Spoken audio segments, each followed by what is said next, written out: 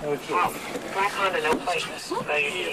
Yeah, he might be having a pneumo. This is our second one tonight. We just hit one over on the east end, too. Okay, I'll tell you what. Why don't you stop compressions real quick? I want to listen to one sound. See if I, I'm trying for further now. getting. Uh, CHP is being advised. It's not a chase yet. He's just trying to stop the car. but The car's not stopping. Is that bag getting tight? Yeah.